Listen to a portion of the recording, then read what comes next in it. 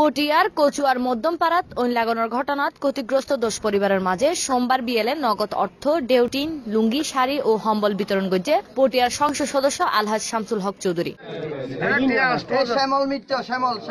এই সময় উপস্থিত আছেন উপজেলা আওয়ামী লীগের সাবেক সহসভাপতি আব্দুল খালেক, কচুয়া ইউনিয়ন পরিষদের chairman S M Injamul Haque Jasim, union Awami লীগের সভাপতি শহীদুল ইসলাম শামীম, সাধারণ সম্পাদক উৎপল সরকার রাজু, উপজেলা যুবলীগ সভাপতি অ্যাড বেলাল উদ্দিন, উপজেলা আওয়ামী লীগের নেতা মিজানুর রহমান যুবলীগ নেতা আনামুল হক মজুমদার শাহজাহান চৌধুরী এস এম এরশাদ সহ আরও বোধকে।